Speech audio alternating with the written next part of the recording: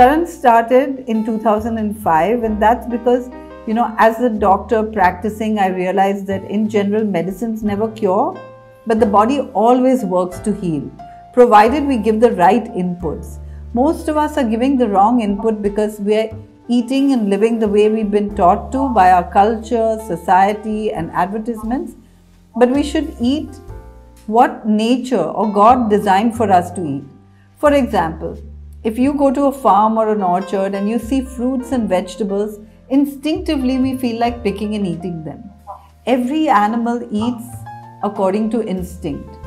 If you see green fields of wheat and rice growing, our mouth doesn't water.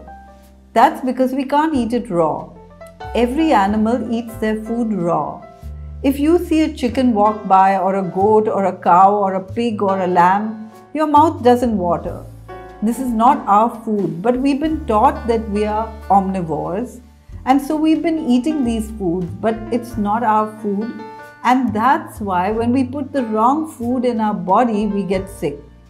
Now, you may know that mil- milk and meat have the same properties high protein, high fat, and no fiber, which is why vegetarians and non vegetarians get the same diseases. That's why we always recommend a plant based diet. Also, all animals in nature eat their food raw and whole. We don't expect everyone to eat their food raw because it's too far from what they're used to, but we do want everyone to eat food as whole as possible. And finally, we're the only species that sprays our food with poison so that other animals don't eat it and then we eat it. Isn't that crazy? So, we always ask people to eat organic.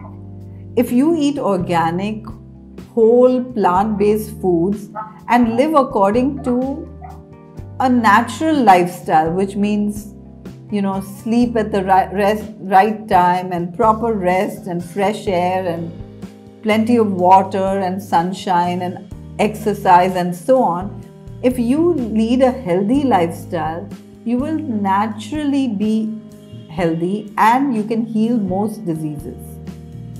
So, uh, this is how Sharan came about. You know, I was practicing and I saw my patients were getting well, but medicines never cure.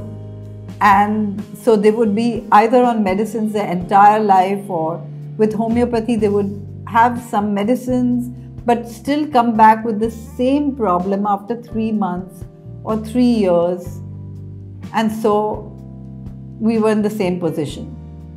But since the body heals, if we take away the causes, and that's what's even been written in uh, the organon of medicine, that if we take away the causes, body will heal.